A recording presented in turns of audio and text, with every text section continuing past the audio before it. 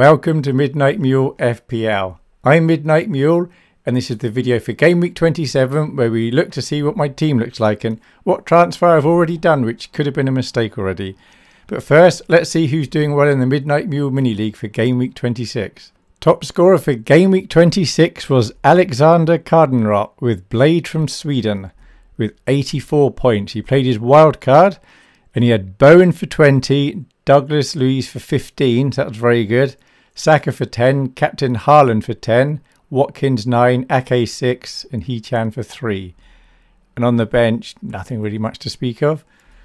Top of the league is still BV with GigaChad FC. They managed 54 points.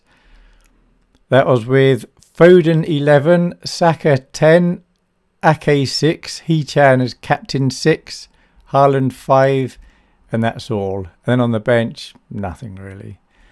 As for me, I'm all the way down in 229th. There I am with 47 points. So not a very good week for me, really. Foden 11, Saka 10, Captain Haaland 10, Watkins 9, and that's all. And look, I didn't even have a keeper. I knew Becker wasn't going to play, but I've also got Dubravka, and then he was ill and he didn't play.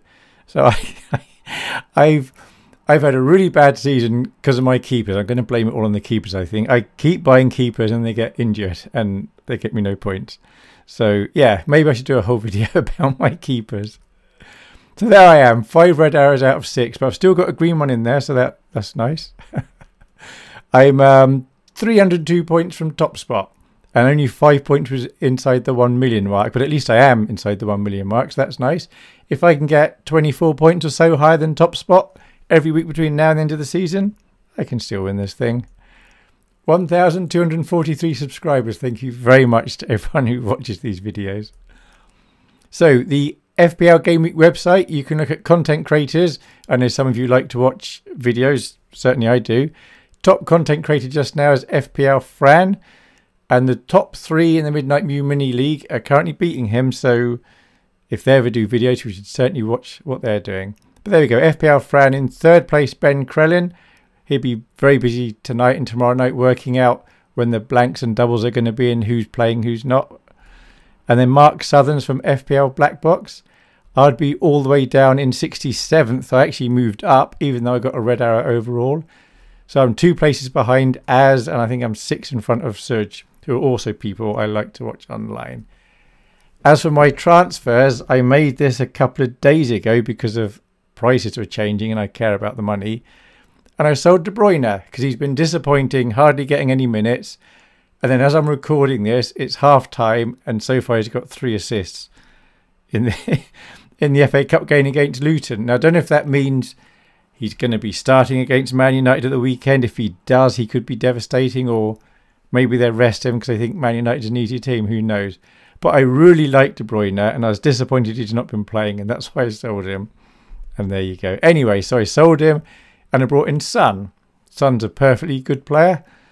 So um, it's possible I'll bring De Bruyne back if he starts getting lots of game minutes. But I'm I'm very bad at selling players and then buying them back. I think I've had Darwin a few times this season so far. So how's my team lining up for game week 27? We got Haaland wearing the old mule hat at home to Man United and his mate Foden in midfield. We have Son at home to Palace.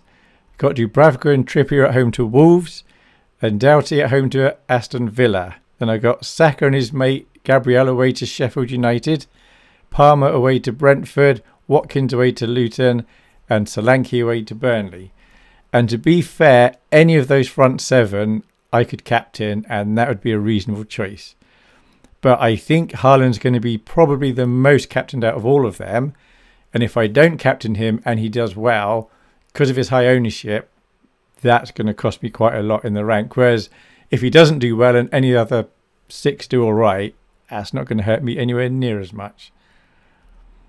And then on my bench, I'll have Becker, who's not playing, Garnacho away to Man City, Senesi. I could potentially play him instead of Doughty. I'm slightly leaning towards Doughty at the moment, though. And then Estupiñán, who, when I get a chance, I'm probably going to sell him because he's just hopeless. As for the background picture, this is because of our top scorer, Blade from Sweden. He's Blade because his team, Sheffield United. And when I was at school, we are doing about industrial revolution. We learnt about the peppered moth, and they were mentioning about Sheffield then and the industrial revolution, and how the moths were they're light or dark, and when they breed, the offspring can be light or dark. But the dark moths always got eaten by the birds because they're easy to spot. Then in the industrial revolution, because the city was a lot more dirty, the dark moths were harder to spot, so it was the light moths that got eaten. So the dark moth population grew. Then when the city cleaned up again, it swung back. So there you go. That's supposed to be peppered moths playing football. there we have it. A nice short video of what happened in game week 26 and my plans for game week 27. It's possible I do some more transfers. The most likely would be Becker to Neto, but I'll probably not take a four point hit. It's bad enough that I lost De Bruyne. Thank you very much for watching. I hope you have a good game week 27. Bye for now.